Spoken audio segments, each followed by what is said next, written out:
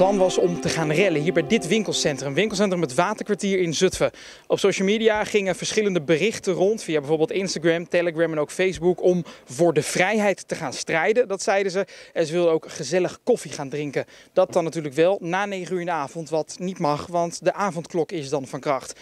Wij waren hier zo rond 8 uur. Toen was het nog druk. Veel politie. Overal in het winkelcentrum stond politie. En ook veel jongeren. Capuchonnetjes op, mondkapjes voor. En het leek klaar om te gaan rellen.